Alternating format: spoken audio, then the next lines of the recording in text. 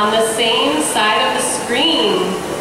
It is such a gift for her to perform for a live audience and feel the energy. Yes, so let's give some to Jayna